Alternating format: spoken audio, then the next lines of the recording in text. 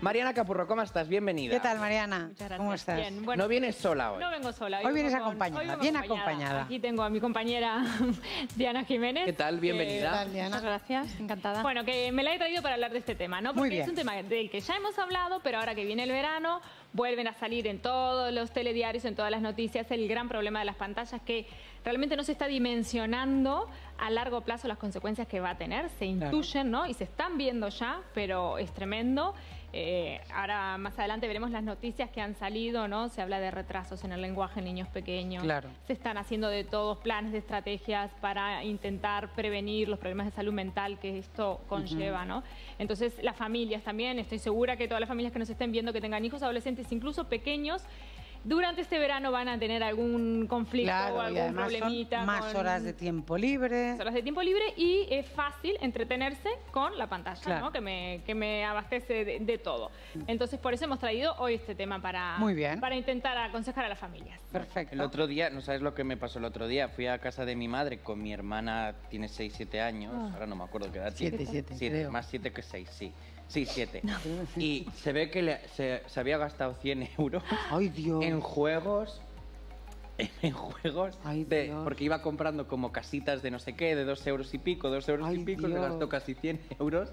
Y mi madre no se dio Es cuenta hasta que vio la peligros, factura. Claro. Ya. Claro, es y un ellos no lo peligro. saben. Pero es que ellos no lo saben que están comprando con dinero. No, no, no se dio cuenta la pobre. Claro, claro. Pero, pero claro, hay que, hay que tener cu- Sí, en realmente cuenta esto. es necesaria la supervisión, sobre todo cuando son más pequeñitos. Pero ¿qué pasa? En un clic la pueden liar muchísimo. Totalmente. Entonces, claro, el clic eh, ahí a nuestro ojo a veces es difícil de detectar. Entonces es Totalmente. importante los límites, ¿no? En cuanto a tiempo y a contenido. En niños pequeños ni que hablar. Niños pequeños, menos de tres años, cero pantalla. Cero. Cero. Pero claro, si los criamos desde pequeños ¿Mm? A comer con el móvil, a todo con el móvil, al Pero final, ¿cómo depende de la educación esto? que quieras darles. Ya. Tú, Diana, ¿cómo, Claro. cómo, cómo farías? ¿Cómo Claro, lo harías? es que estaba pensando, claro, con 6, 7 años no tienen su propio móvil todavía, usan el de los padres. El de los padres normalmente tienen la tarjeta de crédito metida. Claro. Con lo cual, qué fácil es, está jugando, ella ve no sé qué una casita, pues le doy.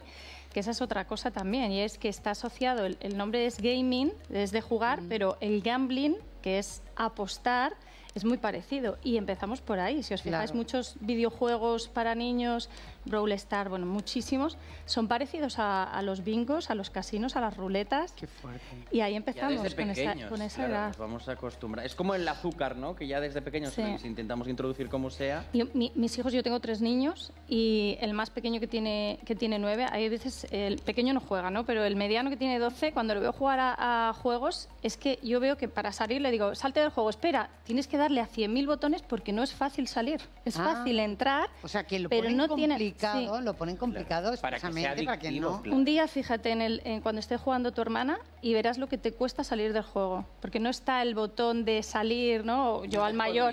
Claro, pero Claro. con tres hijos, ¿cómo, cómo controlas, por ejemplo, tú, el, el tiempo? Con muchísimos acuerdos y, y muchísimo eh, poner unos límites y, un- y unas normas. que Es- negociar con nuestros Exacta- hijos. Exactamente. Que es verdad que nosotros no estamos acostumbrados porque en nuestra época eh, nuestros padres no negociaban con nosotros, es lo que hay. Cuando te vayas Hay, de casa, punto. harás lo que quieras. Pero ahora sí que nos toca negociar y llegar a acuerdos con ellos porque al final es que nos ha pillado de nuevas a todos el tema de las pantallas. Claro. Nos estamos poniendo las pilas ahora, Totalmente. a día. Y nos queda cómodo, nos queda cómodo cuando, sobre todo cuando son más pequeñitos, ¿no? Y cuando son adolescentes también, porque mira, toma el teléfono, ¿no? O toma la tablet y ahí ya no tengo nada que negociar contigo en cuanto a otras cuestiones, ¿no? Que me quiero ir a la calle, que quiero ponerme esto, que quiero comprar no sé qué. Pues si el niño no tiene el dispositivo, hay que atenderle, hay Claro. que estar, ¿no? Hay que jugar, hay que tener presencia. O sea, que se vuelve tiene, también como una comodidad. Por supuesto. Sí, sí. claro. Tú, tú imagínate, estás en casa y te dice tu hijo, eh, papá, ¿me llevas a casa de Juan a jugar? Y dices, uy, a estas horas no. Pues ponme la Play. No, no, no te pongo la Play, juega a otra cosa. Pues me bajo a la calle a jugar al fútbol. No, ahora no, que hace frío. Claro. Pues juego al fútbol en el pasillo. No, en el pasillo No, con el balón no juegas. algo. Al final le dices, ponte a jugar a la Play. Claro. Claro, y Claro, ya claro. consigo lo que ellos quieren.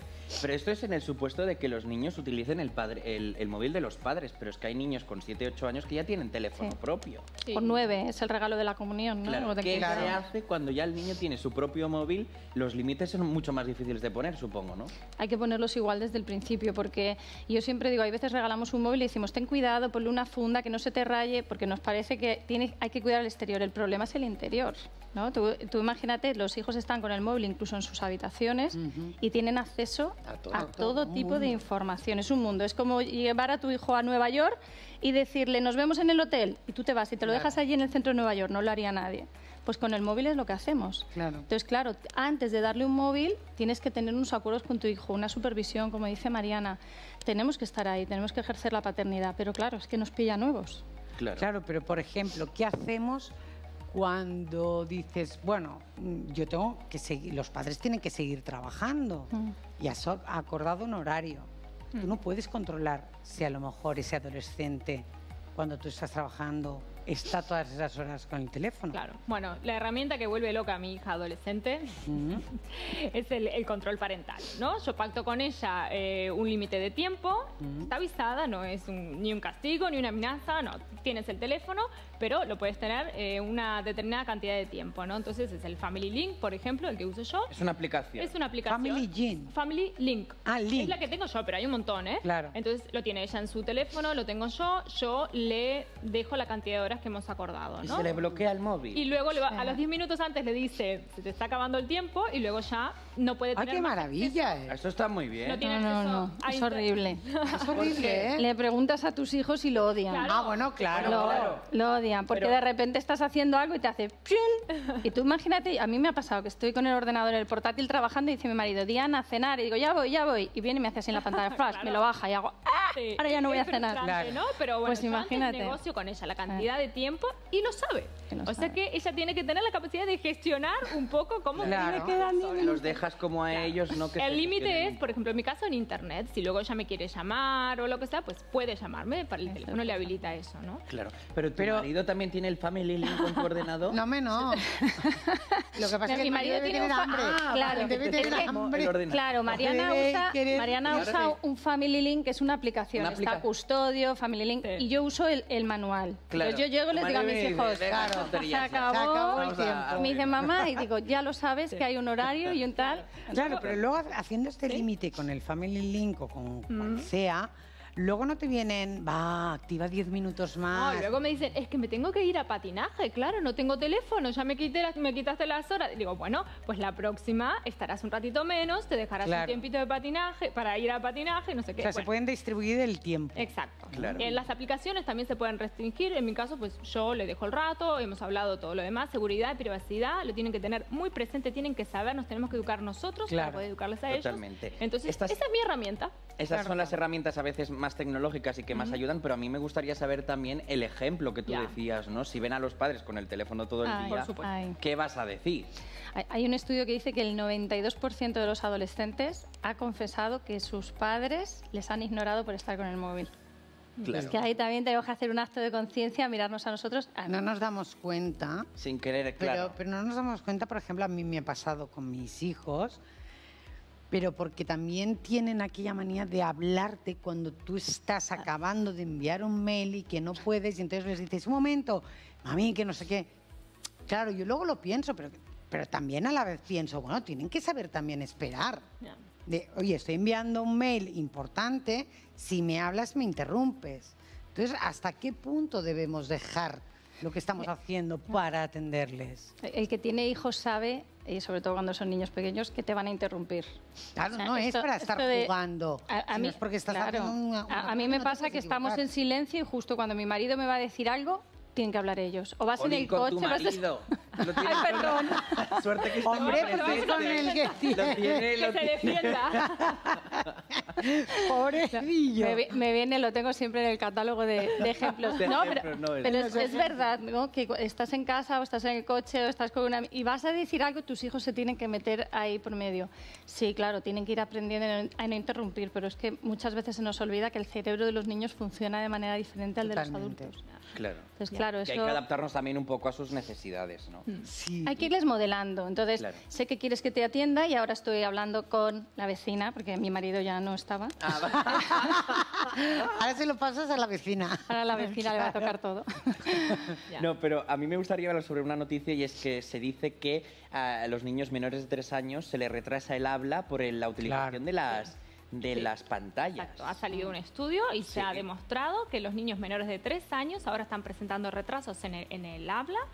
eh, que empiezan a hablar más tarde. Empiezan a hablar más tarde, entonces, claro, van todo Claro. peor, ¿no?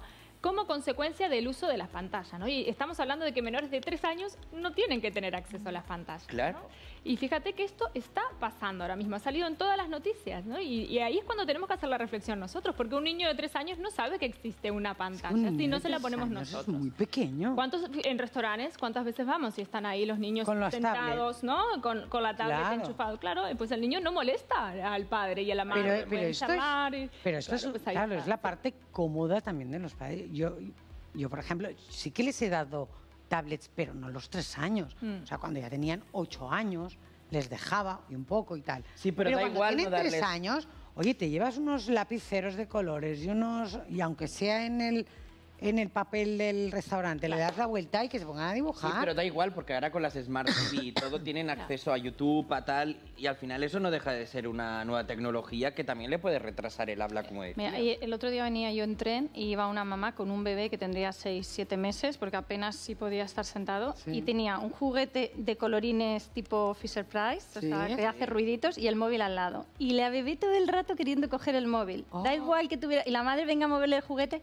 Al final, si un niño... Tecnología. Pero pasa también cuando tienes las llaves. Le das unas llaves falsas y no, quiere las llaves buenas. El Es verdad, mando de la razón. tele que no tiene pilas no lo quiere, quiere por el el bueno. ruido, a lo mejor por el sonido. No, porque al final los niños están observando todo el tiempo. Claro. Y, y- y lo que quieren es in- incorporarse a nuestra vida. Entonces quieren lo mismo que están viendo. Entonces si nosotros como padres estamos con el móvil, pues ellos también quieren el Quieren móvil. Claro. Es muy Y claro, eh, como dices tú, viendo en un restaurante, pero yo lo veo incluso paseando el carrito, veo niños con el móvil, mientras los padres van de paseo, el niño va con el móvil, con dos, tres Claro. años. Es que al final es lo que decimos siempre, ¿no? Que el ejemplo que vivan es el que harán, ¿no? Sí, Y es como en los restaurantes, pues esos niños que van correteando de un lado al otro y ves los padres tan tranquilos hablando con los amigos o la familia, porque a mí no me molestan los niños, pues están molestando al resto. Y aquí hay que apelar a Es lo los de las padres. tablets también es un poco, bueno, les doy la tablet y así no molestan. Sí, otro de los ejemplos que podemos transmitir nosotros es también en cuanto al límite de espacio, ¿no? Por ejemplo, establecer es- espacios físicos, no solo de tiempo, en casa, ¿no? De aquí, teléfono no. Por ejemplo, en la mesa, ¿no? A la hora de comer, el teléfono no. Pero claro, si yo se lo exijo a mi hijo y tengo el mío ahí, Claro. estoy- entonces eh, no hace falta enseñarles nada si yo ya lo hago, Sí, claro, naturalmente, claro. porque ellos ya lo ven así. Lo entonces en ningún normal, momento claro. se le va a ocurrir poner el teléfono en la mesa si nunca hay un teléfono en la mesa. Es ¿no? que además se deja de hablar. Se deja de tener conversaciones con, Sí. en familia, con los hijos. Es una pena. Sí, da pena ver Claro. mesas eh, de familia. Interactuamos menos, por eso lo del desarrollo del lenguaje, porque cuando tú estás cocinando, dejas al niño con el móvil, estás entre comillas anestesiándolo, interactúas menos, porque ya no lo entretienes como antes. Antes ibas al centro médico y le decías a tu hijo, mira el cartel no sé qué, entonces el niño está Claro, aprendiendo voca- distraía, le Pero tú se lo das, lo o el tienes veo ahí. veo. ¿Quién no ha jugado al veo veo? Claro. ¿Tú no has jugado al veo veo? Sí, yo he Ah, jugado al veo veo. Ah, vale, vale. Ahora ya no se juega, ¿eh? Es que no se juega nada. Ya no. Y antes nos sentábamos una familia en una mesa y jugábamos un juego de mesa. Es verdad, ahora y ya los era juegos de mesa- divertido y, y ahora nada. Ahora sacas un juego de mesa y te dicen tus hijos, mamá, ¿y eso dónde se enchufa? Sí, sí. Claro. Bueno, Y ya es no se venden, es que ya casi ni se venden. Bueno, todavía, todavía. Sí, hay pero que suerte. la- Algunos adaptados ya para el, No sé si-. Sí, esos muchos. Yo os quería preguntar, no sé si hay ten- más tendencia en niñas o en niños de, de la tecnología o no, pero ayer me ocurrió una cosa muy curiosa, que estaba en un, en un sitio pues tomando el sol con mucha más gente en, en- en un club y, y empecé a observar y el, yo qué sé, la gran mayoría de mujeres iba con un libro en la mano leyendo, todo mujeres, y la gran mayoría de hombres iba con el móvil. Entonces no sé si a lo mejor de niños... Díselo a tu marido. claro, que irá con él en la tablet. No, pero digo, no sé si hay más tendencia en niñas o en niños. Bueno, yo creo que las niñas tienen un poco más de presión, entonces aquí daría la vuelta a la, a la información que vos podrías haber sacado como conclusión.